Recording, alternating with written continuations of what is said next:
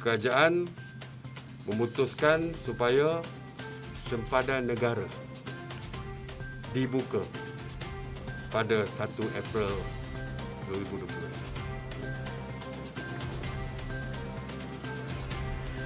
Jadi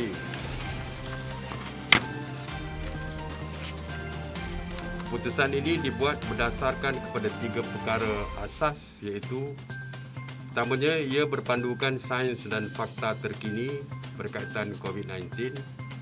Yang kedua, membandingkan keperluan pembukaan sempadan di negara-negara lain.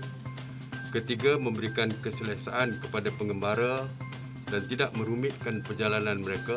Yang paling penting, Malaysia sekarang adalah destinasi terbuka dan boleh dikunjungi semula.